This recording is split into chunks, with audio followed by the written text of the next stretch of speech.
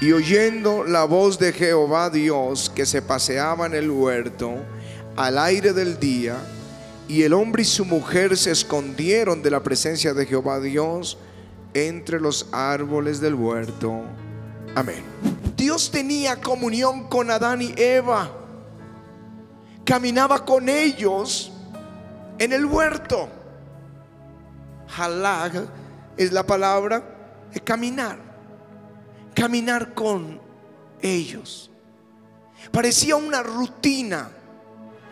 Pero un día el hombre desobedece. Y Dios viene a su rutina y no encuentra a Adán. Y no encuentra a Eva. Ellos se habían escondido. ¿Dónde estás tú? Preguntó el Señor. Ya no había esa comunión. Ya el hombre estaba escondido. Y ya Dios no caminó con Adán. Y luego viene una generación perversa. Y Dios quiere destruir la tierra. Y lo registra así, dice, se arrepintió Jehová de haber hecho al hombre en la tierra y le dolió su corazón. Y dijo, raeré de sobre la faz de la tierra a los hombres que he creado. Pues me arrepiento de haberlos hecho por la maldad de ellos.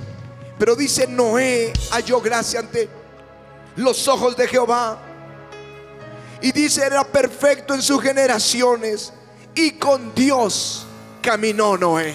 Pero Dios decidió levantar un pueblo para caminar con él. Y le hizo la promesa que caminaría con ellos. Y les hizo la promesa, yo iré con ustedes y yo los llevaré, yo iré. No es los mando, yo ya di orden, aquí hay un decreto, vayan. Él dijo, yo mismo les sacaré. Yo mismo iré con ustedes y yo mismo los introduciré en la tierra de la bendición, en la tierra prometida. Yo mismo iré con ellos. Aleluya.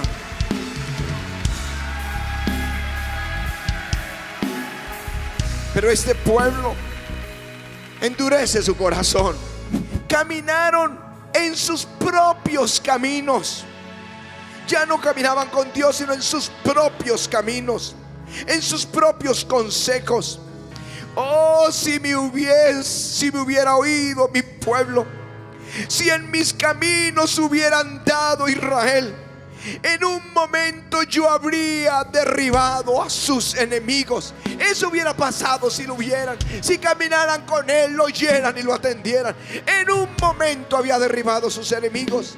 Había vuelto mi mano contra sus adversarios. Los que lo aborrecen a Jehová se les habrían sometido.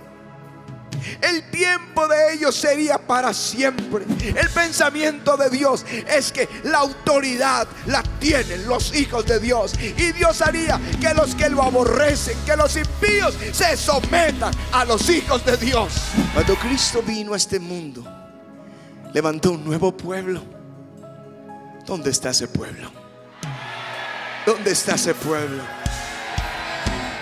Él tomó de los judíos y de los gentiles y los salvó e hizo un nuevo pueblo.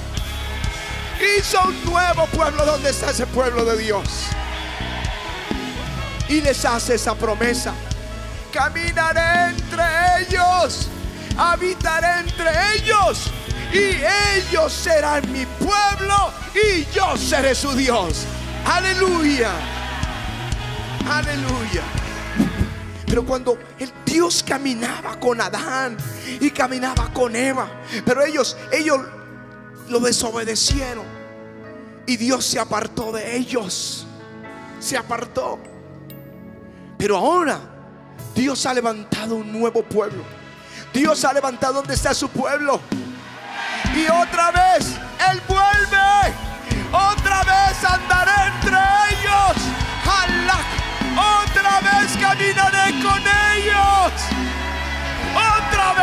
Pasearé con ellos a la brisa del Espíritu Santo. Aleluya. Aleluya, dale gracias al Señor.